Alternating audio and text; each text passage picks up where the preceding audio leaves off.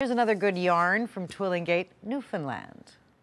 The rock vandal, also known as Nina Elliott, uses her talent for knitting and crocheting to create temporary street art, what she calls yarn bombing, to inspire her community and tonight, the whole country.